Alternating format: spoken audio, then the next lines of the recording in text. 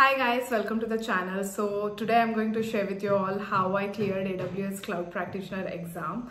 I took this certification uh, in the month of May 2025 uh, and I scored around eight, 807. Um, so I'm just gonna attach a screenshot of the certificate and so today I'm just gonna share all the resources and tips uh, I used to clear this exam in 15 days. So let's get right Who is this exam for?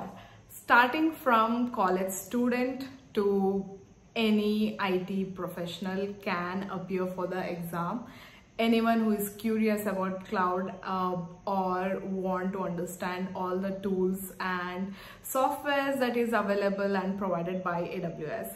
And you, the best part is you absolutely do not need any prior experience or practical knowledge on AWS to appear for this exam as this is a fundamental exam. So skill builder was my primary source of resource. I created my own notes to retain all the concepts that I learned from skill builder and I took cloud practitioner course from there. Uh, so they have pretty much everything in, de in detail that you require to clear the uh, exam.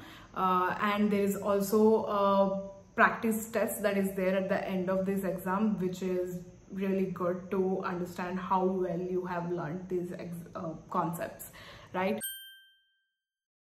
Coming to practice tests uh, i use there are a lot of free resources especially in youtube uh, I followed uh, a channel called as uh, Digital Cloud, if I'm able to remember right. Of course, I'm gonna tag all those people in the description below.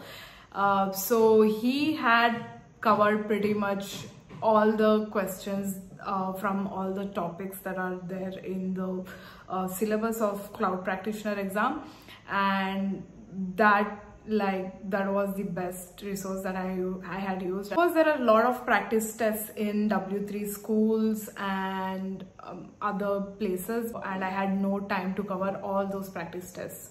So I wanted one single place where I could find a lot of co cover all the concepts and uh, sort of uh, get a confidence that I can appear for the exam because I started taking practice tests only when it there was like one day left to the exam.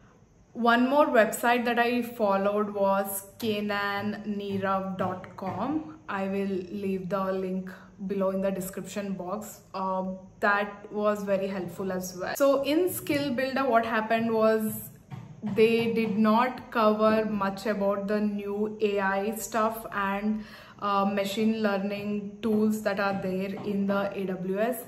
Uh, so I had not practiced any questions and I did not know much about those topics uh, uh in the AWS before taking the practice test. So you guys practice tests are really really helpful and it gives you a lot of confidence before appearing for the real exam.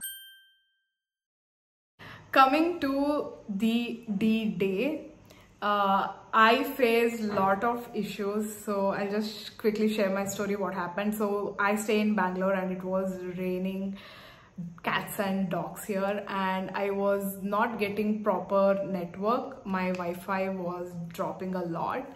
Uh, I had scheduled for 7 a.m. to 8 a.m. slot and um, I was just not able to verify my documents and almost three to four times my proctors got changed and I was panicking a lot. So tip number one for your D-Day is that have really, really good network connection. Uh, so if not, keep your hotspot handy. Uh, also, one more thing that I got to know is it is okay even if your time slots and the exam has not begun yet because in my case, the uh, my time slot had already started but the exam was couldn't start because my documents weren't verified yet because of the network issues.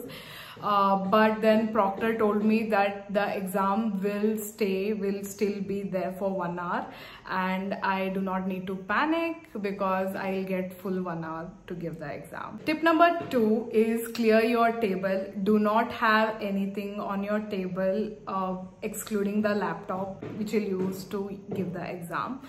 Uh, so I had this desktop uh, which was not allowed to keep but uh, the proctor asked me to turn the desktop towards the wall.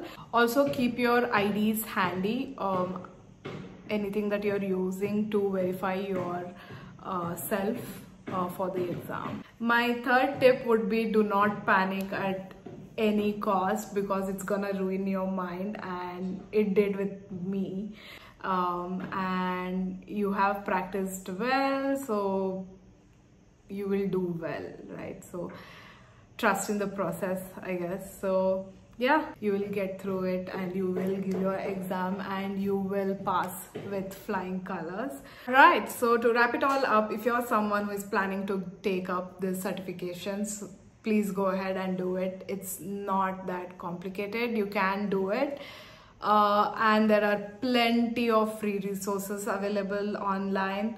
Do check it out. I will leave some in the description box. And do not forget to take few practice tests at least two to three.